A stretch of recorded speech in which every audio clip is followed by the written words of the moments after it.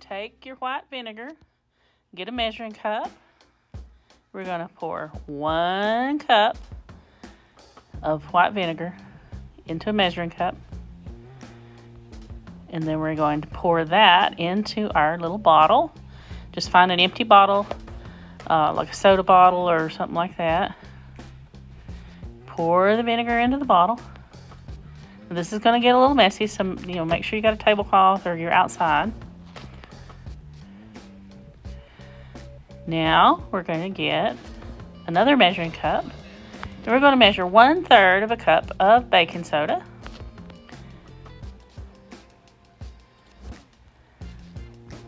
This is a really cool experiment. Okay, so pour your baking soda into your measuring cup. Now you're going to get the baking soda into the balloon, which we probably should have got a funnel, but we didn't think about that. So Miss Erica's going to help me pour the baking soda into our balloon. And as you can see, the baking soda is going everywhere. but we did get it in the balloon. And you have to kind of push it, squish it down in there. Third of a cup of baking soda. Squish it all down in there.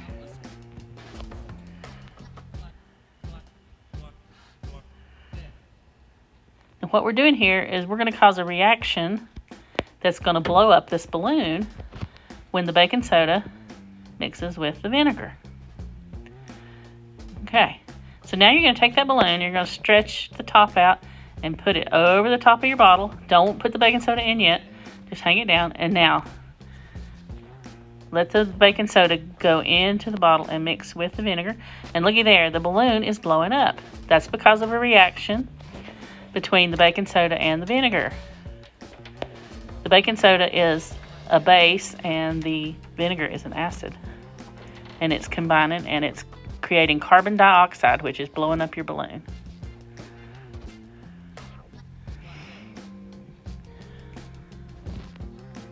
Huh?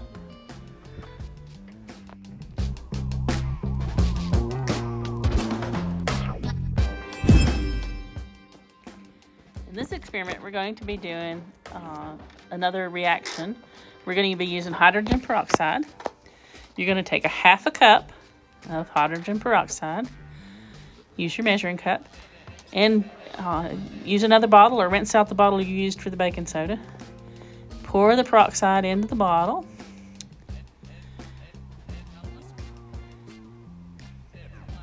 All right. Hydrogen peroxide is a combination of hydrogen and oxygen. Now we're going to put some dish soap, just a few drops of dish soap into your hydrogen peroxide and just kind of twirl it around, let it mix up. Okay. Our next ingredient is yeast. Yeast is going to produce the reaction that we want. Uh, you're going to take a teaspoon of yeast and two tablespoons of warm water, and you're going to mix that together, okay? Mix it up in a little measuring cup. The yeast is going to act as a catalyst, and it is going to help release the oxygen molecules that is in the hydrogen peroxide, okay? So when we when we mix it up and stir it up and pour it in there, and this yeast, it takes a little bit to pour it up, to um, mix it up. It's really gooey and it smells horrible. But we're gonna stir it up.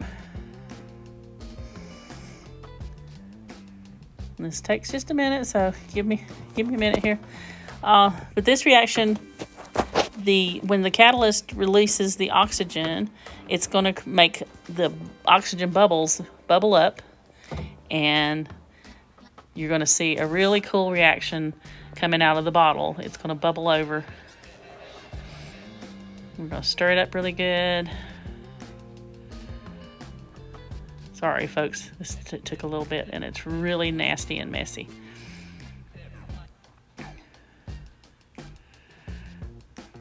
Stir it up.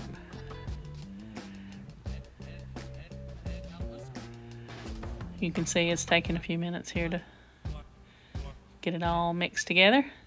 Now we're going to pour that into your bottle. There we go. Now watch the reaction. It comes bubbling over. All right, you see all that? You can also add some food coloring if you want to to make it look really cool. And if you fill the bottle, the bottle is really warm because it produces an exothermic reaction, which is it releases energy in heat. There you go. That is elephant toothpaste.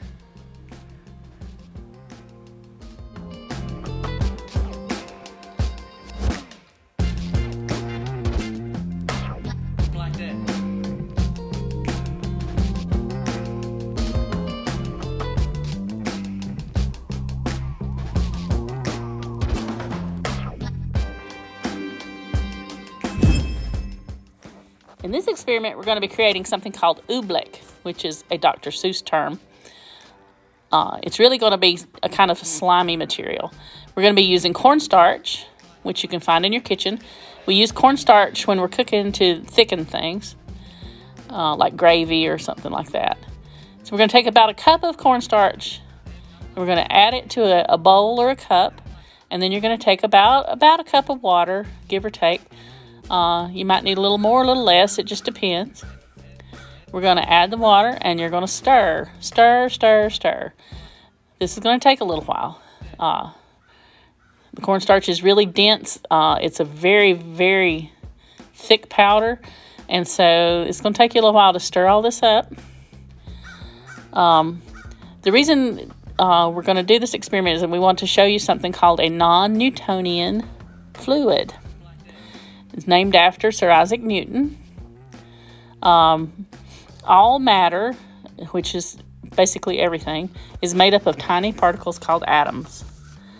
Uh, the atoms that make up an object are always moving, and how fast they move determines whether an object is a solid, liquid, or gas. So, if you have a solid material like ice, the atoms are packed tightly together and they move really slow. Uh, as the ice begins to melt, uh, the atoms are moving more quickly.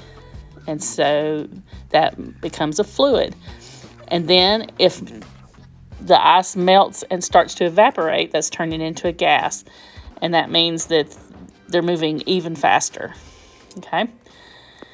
So, what we're making here can sometimes be a solid and it can sometimes be a fluid and it's called a non Newtonian fluid because it can change what it is.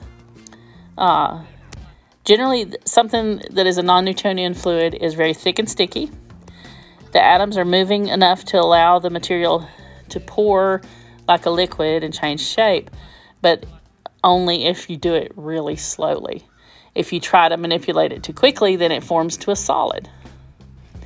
So when we get this done, I want you to manipulate the stuff, put your fingers in it, and you'll see what I'm talking about. If you press down on it,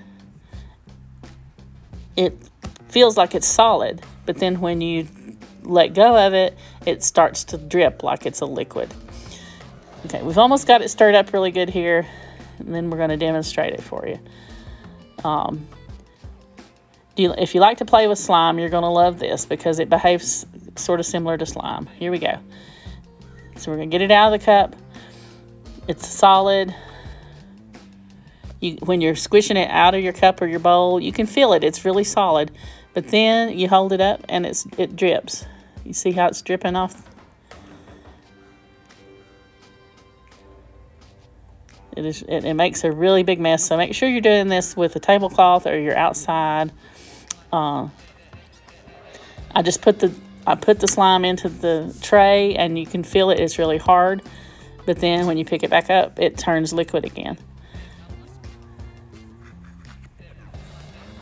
And this is because the atoms are running into each other when you pick it up and you're when you're squeezing it and picking it up, the atoms are running into each other and that slows them down and turns into a solid. When you let it go, they start dripping again like a liquid. It's a really, really cool, cool fluid.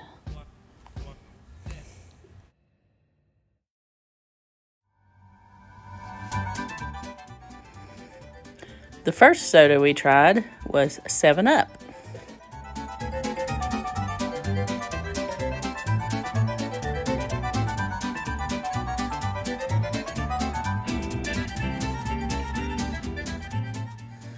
Next, we tried an orange crush.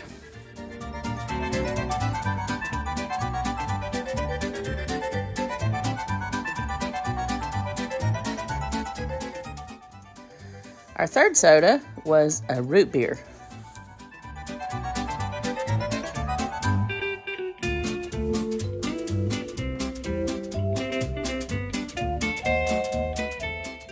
And finally, we used a Diet Coke.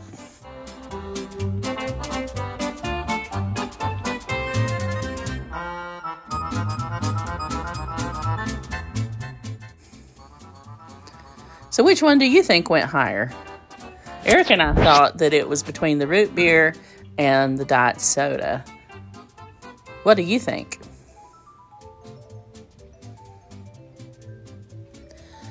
So, what causes this reaction?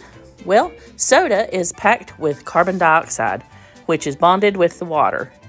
The gas contained in the bottle tries to escape when the bottle is opened.